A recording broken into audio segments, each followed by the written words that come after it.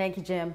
Well, two men in North County found a way to help small businesses and frontline workers thrive during this pandemic, all with a click of a button.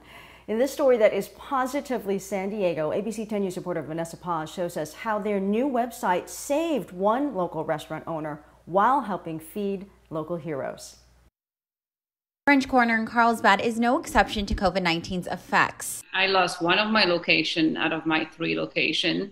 Uh, then I completely closed essentially by the end of March. Alexandra Long is the owner. Everything had to be resyncing and resought. Slowly opening doors back up, business was slow until she met Dave and Bruce. I thought maybe creating a website where locals are donating, giving money to local restaurants to buy meals for people working on the front lines. Bruce is a computer designer, Dave in sales, and together they created Feeding Local Heroes, a website where people can buy meals from their favorite local restaurants to donate to frontline workers. Hospitals or assisted living facilities, blood banks. We wanted to put more of a personal touch on it and let you decide what your favorite restaurant is. Donate whatever you whatever you, meals you like from that restaurant. The service, delivery and doll is completely free for restaurants. Purely to add revenue to the restaurants and provide meals for the recipient heroes. So far, Feeding Local Heroes has partnered with 13 restaurants in North County and delivers to 13 hero locations. As more restaurants and frontline businesses sign up, they hope to expand through the county. I've always wanted to do something, I guess, philanthropic,